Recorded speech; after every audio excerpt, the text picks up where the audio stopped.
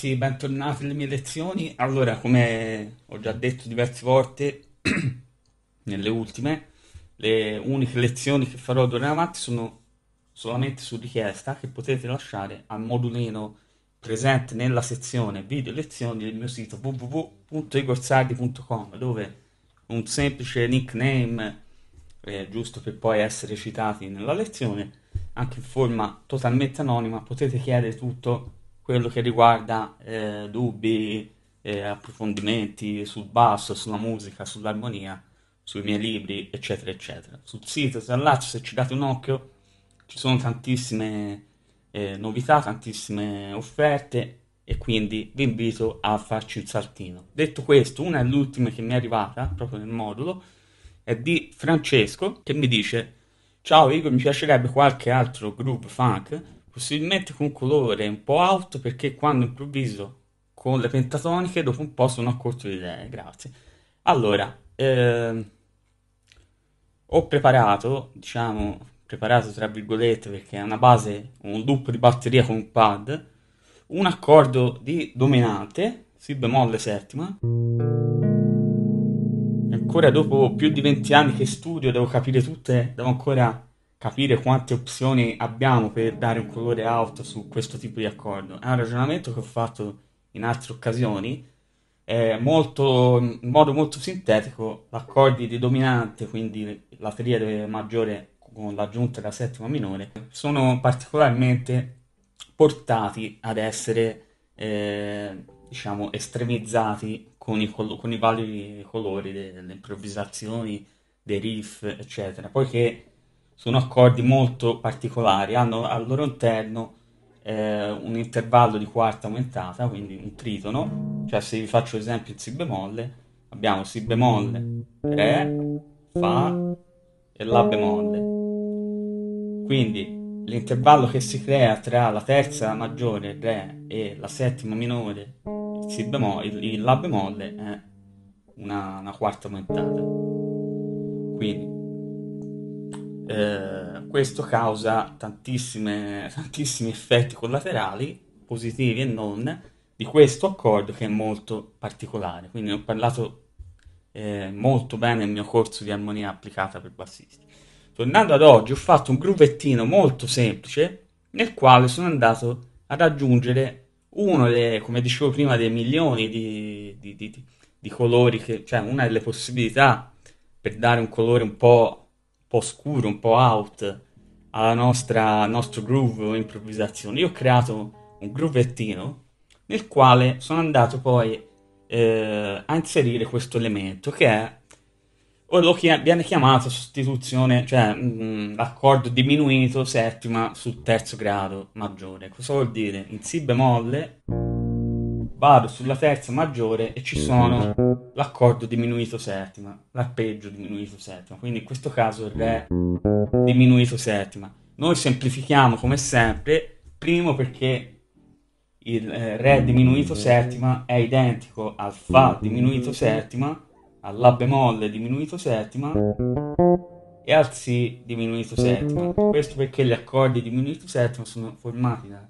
tutte eh, tutti intervalli terza minore, quindi qualsiasi nota io prendo eh, contenuta all'interno di questo accordo può essere considerata tonica, quindi non cambia niente.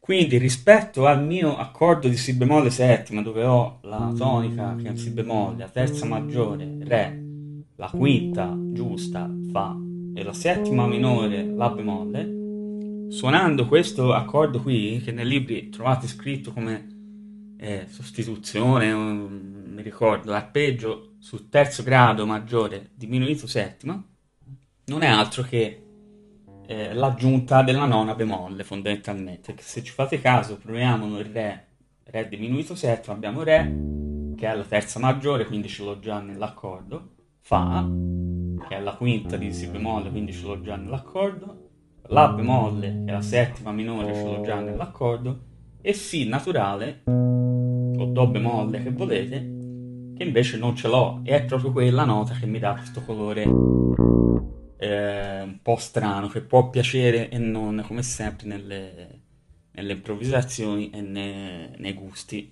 di ognuno di noi. Quindi il groove fa così, poi lo andremo a vedere, a sentire con la base, che non è altro che un groove di batteria, come dicevo prima, con un si bemolle settima di tappeto, tappetone.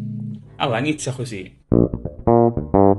Vado veloce perché tanto trovate tutto nel pdf che allego sempre nel link sotto al video. Questa è la prima battuta, quindi tonica, utilizzo le ghost nel funk sempre, ottava, ghost sol, quindi sesta maggiore, mi appoggio sulla settima minore, un altro cliché del funk. Due ghost, il primo prima escursione nell'out con appunto questo Si naturale che lo prendo con questo ultimo movimento che fa. Quindi Re, Fa, Si, La bemolle. O Do bemolle, è uguale. E mi riappoggio sulla settima minore. Poi seconda battuta. Qui ci faccio un vibrato. Ora non ho fretless, comunque l'idea era quella. Ho un trillo, vedete voi quello che vi piace di più. Chiudo la battuta con un altro cliché funk. Parto da, con bicordo dalla terza minore sulla corda di Re e la sesta maggiore sulla corda di Sol, quindi Do diesis Sol corro di un semitono, il glissato di un semitono, mi diventa terza maggiore, settima minore, quindi Re, La bemolle. Terza battuta identica alla prima. Ultima battuta, ho messo un altro, un'altra volta il Si naturale. Di nuovo una, più o meno quello di prima, cosa di prima. E chiudo con un fillettino qui sulla parte alta, sul range alto,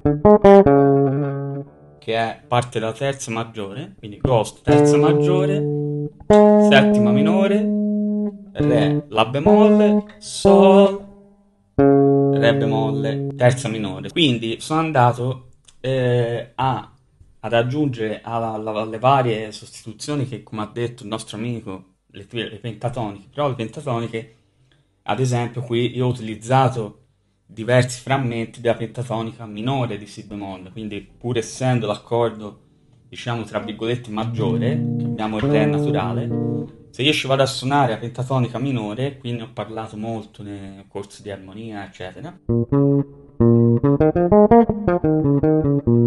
o la scala blues,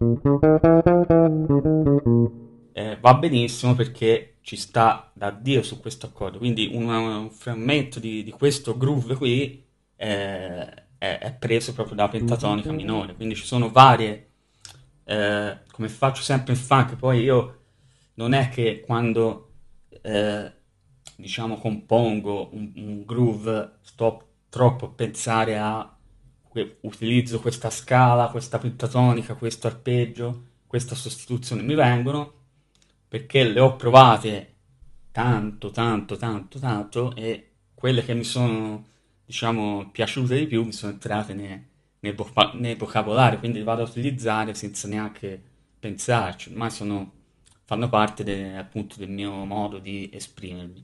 Quindi andiamo a mettere la base, ci suoniamo prima eh, un pochino sopra con la batteria perché la cosa fondamentale di, di, di questi studi è trovare eh, un bel incastro con la batteria, anche quando creerete voi i vostri groove, la prima cosa è la, la ritmica, quindi trovare quel, appunto il groove, perché si dice groove che vuol dire un milione di cose, ma comunque è, è in questo caso un bel eh, incastro bello fatto bene con l'altra parte ritmica, con la batteria. Poi una volta che ci sentiamo eh, in confidenza, diciamo, ora in questo caso è una base, ma meglio ancora se suonate con, un batterista, ehm, andiamo ad aggiungere vari elementi. Quindi in questo caso andiamo a sentire come ci sta questo sì. Che poi potete prendere questo riff o tanti altri che ho fatto in precedenza e poi copiare, come fanno tutti i musicisti, copiare è bello e fa bene, ma non per poi rifare a pappagallo questo, per fare come hanno fatto tutti i musicisti della storia, cioè hanno preso in qua e là, ascoltando, eh, risuonando cose di altri, e poi creare un proprio modo di eh, esprimerti.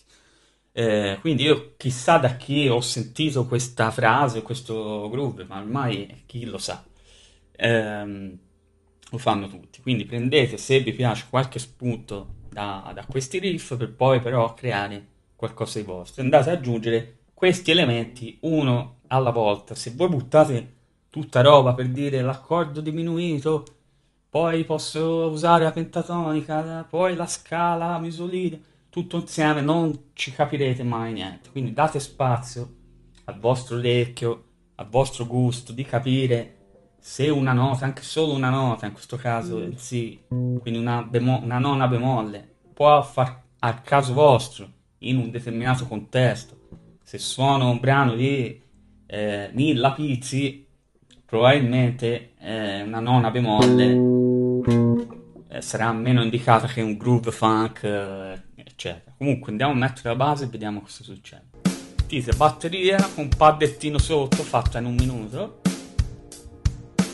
quindi, eh, vediamo la prima cosa che mi viene in mente, senza andare a rifare subito il groove.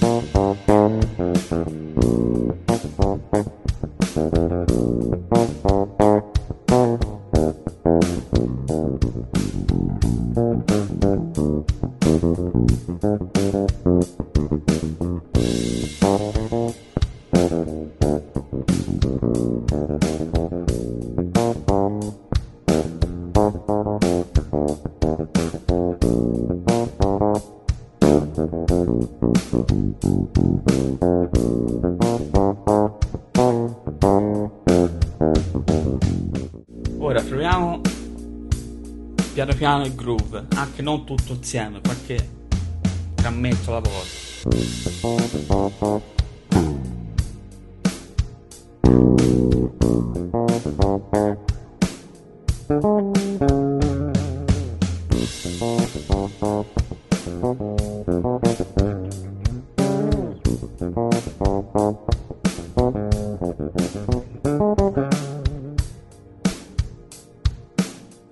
Dopodiché quando avete immagazzinato il groove eh, potete poi lasciarvi può andare anche a un'eventuale improvvisazione, un assolo, qualcosa. Facciamo finta che è un brano che poi rimane una parte in cui avete spazio per il vostro solo.